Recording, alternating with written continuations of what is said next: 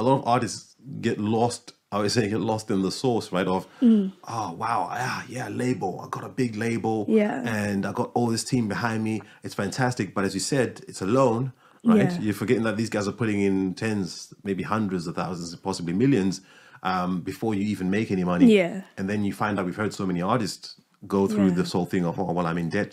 Yeah. How have I made so much money or sold so much, but I'm still in debt? And then they say, well, you know, you've got this deal, 360, and we provide you with this, but you got to pay everyone, including the person that's doing the marketing, your social media, your Yeah. every little thing from the guy that's getting your coffees when you're in studio.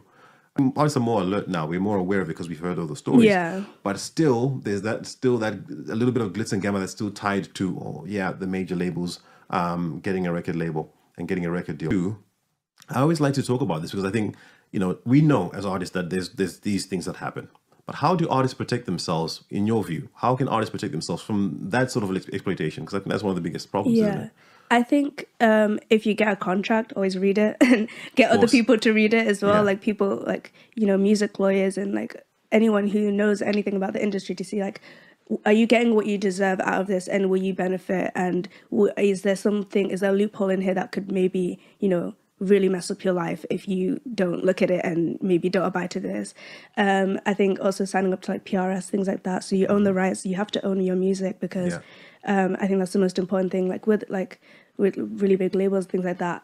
As soon as you're done with them, they own your music, and anything, every time your music like played on the radio, or if it's used in a film or anything like that, which are big ways to bring in income as an artist. You're not getting the money. You're not seeing it, even if you created it, but they will get it. Um, so it's like owning your music, trying to basically just I think it's always like research, doing learning as much as you can about the industry because the more you know, the more you'll be aware about the things that can happen. And like I always like looking at like artist stories and like seeing like learning about like I think there's a lot of artists with where they've had problems with the labels, like people like Raye, incredible yeah. independent artist, but like, she had such in, like massive labels like problems with her label, um, especially with the whole branding things. Like they wanted her to be a dance artist, I think, and she wanted to create everything else or like Yeah. make up the music that she wanted to create and not necessarily have to fit in a brand. I know like um, one of my favorite artists, Frank Ocean. I know he had problems with Oh, his yeah, brand. Frank, yeah. The whole finesse, the um, Def genius. For two million. No, was it two million? I was like twenty? I don't know. It was a really big was 20, number. I think it was. I it 20 was million. I Yeah. was like, oh my god.